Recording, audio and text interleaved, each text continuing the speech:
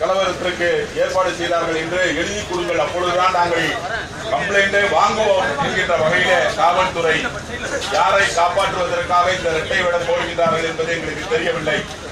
எனவே காவல்துறையை கண்டித்தும் உடனடியாக நடவடிக்கை எடுக்க வேண்டும் என்ற வகையிலே நாங்கள் கோரிக்கையை வைத்திருக்கின்றோம். இங்கே பார்த்தீர்கள் என்று சொன்னால் அனைத்து திருச்சபையை சார்ந்த மக்களும் இங்கு நாங்கள் ஒன்று திரண்டு நாங்கள் இந்த ஆர்ப்பாட்டத்திலே கலந்திருக்கின்றோம்.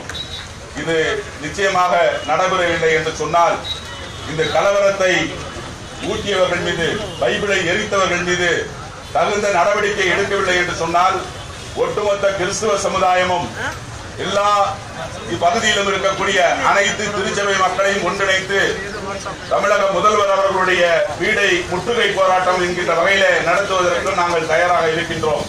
ஏனென்று சொன்னால் இத்தனை நாட்கள் ஆகிவிட்டன. இன்னும் ஒரு வகையான நடவடிக்கை கூட எடுக்கப்படவில்லை. ஏன் என்று தெரியவில்லை. எனவே இது ஜனநாயக நாடுதானா?